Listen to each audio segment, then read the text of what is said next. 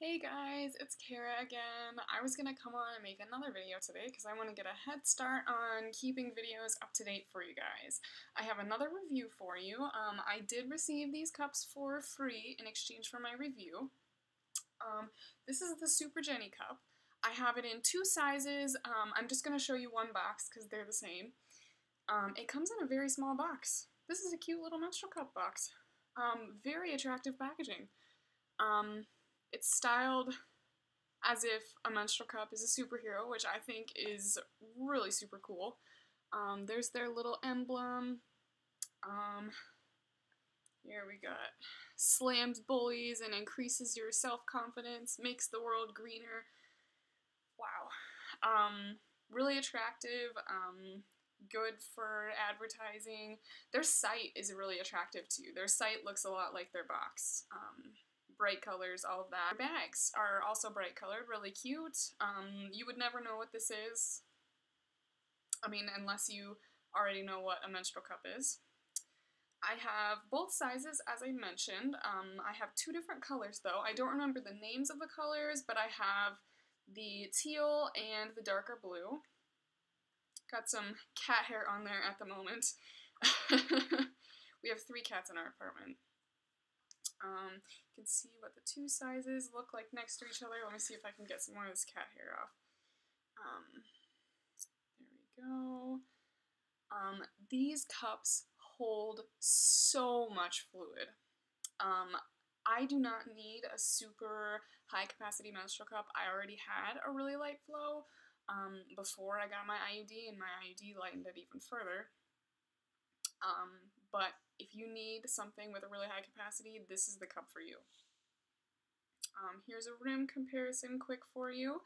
The large is a pretty large cup um, compared to other brands. The stem is really nice. You have a grippy little ball on the end and there's some grips that you can see along there and there's some grips on the cup itself as well. And let me see if I can get it to focus on the star pattern on there. There we go. There's a star pattern in between those two grip rings. Um, there's the Super Jennie emblem right there. Super cool. There are four evenly spaced suction release holes around there. There's only one single, fairly subtle rim. Um, let me switch to the other cup. You can see that one a little bit too. Um, it's going to be a little bit hard to show you because they're on the inside, plus it's a colored cup, but there are some measuring lines. Um, it also says made in the USA right there, I just noticed that. Measuring lines are for half an ounce and a quarter ounce. Yep, you can see them just fine right in there. Let me see if there are any different measurements on the larger cup. Um, nope, just half an ounce and a quarter ounce. Milliliters and 7.5, and those are on both cups, but both cups hold quite a bit more than that up to the holes and then even more up to the rim. The holes are pretty small and they're also bigger on the outside than they are on the inside, so they're kind of tapered. You can see that right there. Um, it's a little bit of a sticky cup, but it's not uncomfortable at all.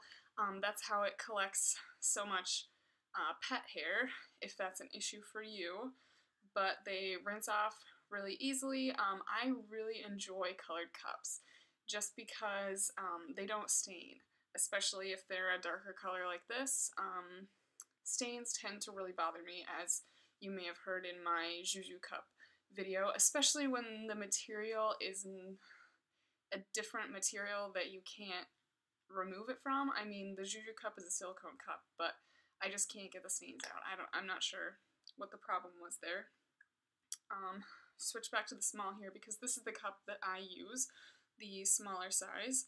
Um, I have used the larger size and it's comfortable. It's just fine. I have a really low cervix. It still fits there. Um, I'm very petite. The width is not too much, but I just, I never need that much capacity. So I just end up using the smaller one. Um, Super Jennie Cup, super cool.